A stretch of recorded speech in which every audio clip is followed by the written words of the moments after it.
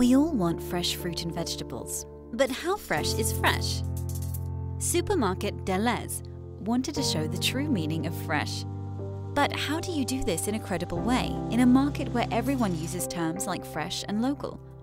Together with local pear grower Wolf Carius, Delhaize launched the Live Harvest.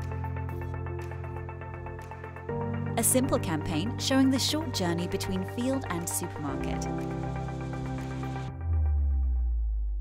Through 122 digital billboards spread across the country, everyone could follow the pear harvest live during one whole day.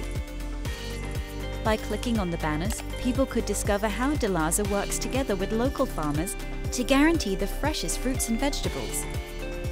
Message Harvested today, tomorrow in your Delhaize. In one day, the campaign generated 10.5 million media impressions.